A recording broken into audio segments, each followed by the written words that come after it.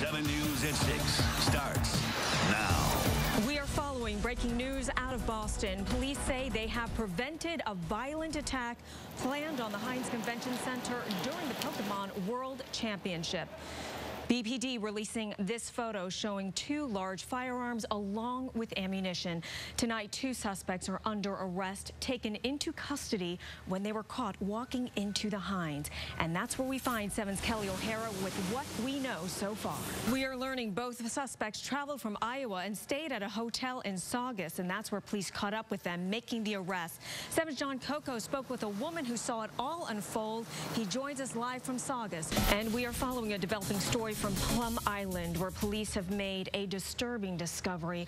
A body washed up on Plum Island this morning. Police say a couple saw that body while walking along the beach. Medical examiners will only confirm at this time it was a woman. 7 News now turning to the weather. A dreary day in Boston. You can see it's still the same right now. No heavy rain, really, but a light, soggy mist for most of the day. The rain is moving out. The clouds might be hanging around. Hey, Bree Eggers, kind of makes you think you're in Scotland. Yeah, it did. It felt like a European day out there. This just in, following breaking news from the roads. Police in Hopkinton are on the scene of this crash on 495 South right before exit 20. Officers not releasing any information about possible injuries from this. But as you can see, this crash is severe and they say traffic is backing up at this hour. Drivers obviously to expect big delays. We are following more news today. Reports of explosions shaking a community in Chelsea today. Now, this turned out to be a freak occurrence, but the situation was still serious. As 7's Chris Anderson reports on what caused the big boom that shook up that town. Three American heroes speaking together for the first time after taking down that heavily armed gunman on a Paris-bound train.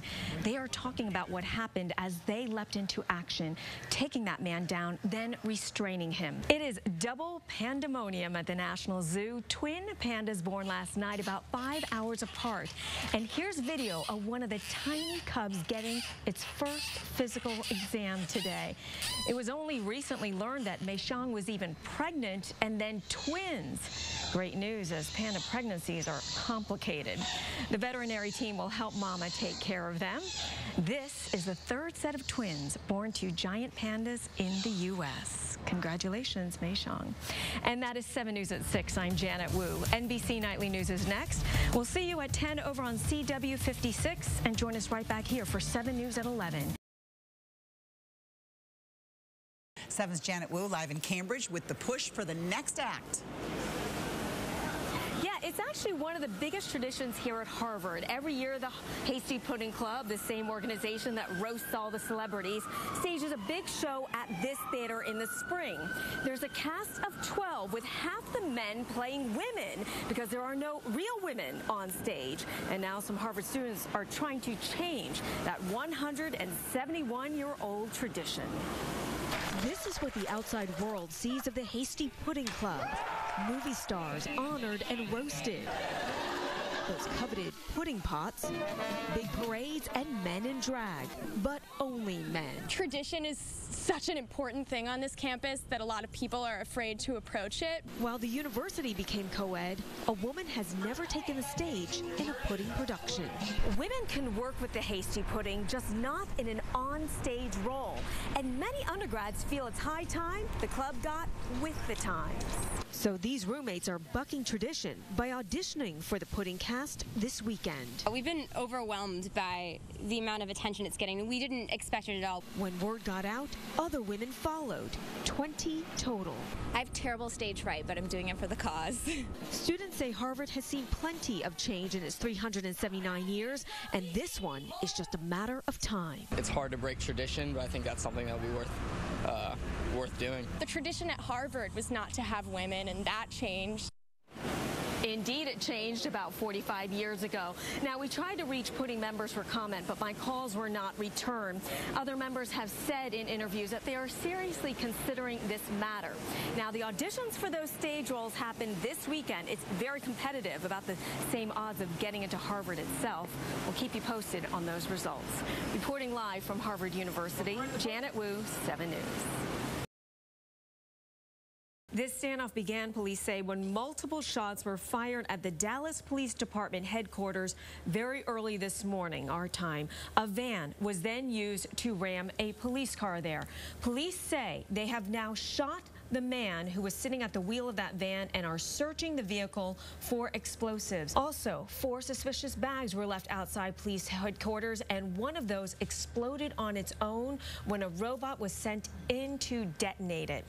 Here are some pictures of the damage left to Dallas Police headquarters. You can see multiple bullet holes and shattered glass. At this point, no one has been injured. Residents in the surrounding areas who were initially evacuated are now being allowed to return to their homes.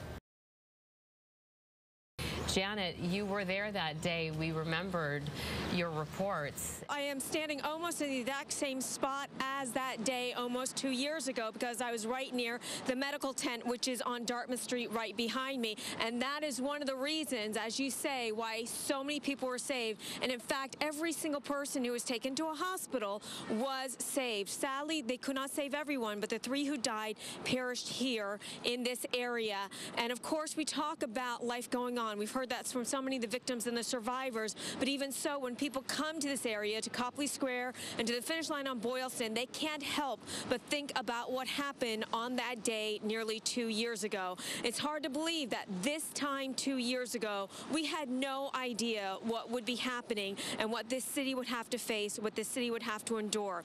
I will tell you that so far today, it's been very quiet here near the finish line, in part because the weather is awful. It's been sleeting and snowing and raining. So, in fact, most of the people that we stopped to talk to did not know about this verdict. They heard the news from us. Wednesday morning, a school bus like this ended up like this. We heard a loud crash, and I looked out this front window and I saw a yellow school bus in our driveway and figured that's not normal. the bus had just offloaded all students at the Sullivan Middle School. It was turning left on Apricot Street when it lost control. My fiance's car was near the stone wall and it hit that and it was all the way up here against our front porch. Cameras on board show what happened. She was unbuckled basically and then when she took the left turn coming out of the school, she actually slid out of the seat thereby uh, losing control of the bus. It appears that she was not wearing her seatbelt at the time and that that was a large part of the cause of the the accident, the crash that happened. Kim was told her now totaled parked cars actually prevented that bus from going straight into the house. According to the police report, the driver sustained injuries to her hand, arm, and leg. Worcester contracts its school bus transportation through Durham School Services. The company says the driver has been put on leave pending an investigation. In Worcester, Janet Wu, 7 News. Live in Boston now with more on this somber day of remembrance. Yes, Elizabeth, this memorial here in the public garden is a stark reminder how strongly Boston is linked to that tragedy. You mentioned the two planes leaving from Boston, and also so many who call the state home were lost that day. And today, many, 14 years later, are stopping to remember and honor those lives.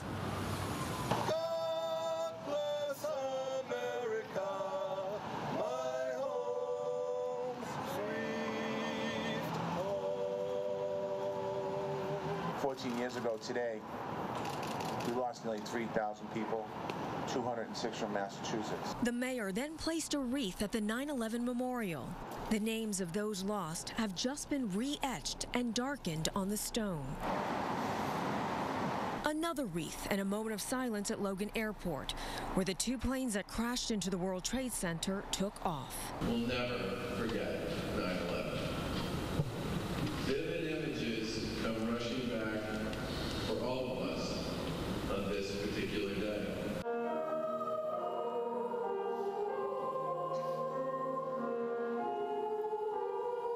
Names of all 206 victims with ties to Massachusetts were shown at the State House, along with their pictures and glimpses of the love and legacies they left behind.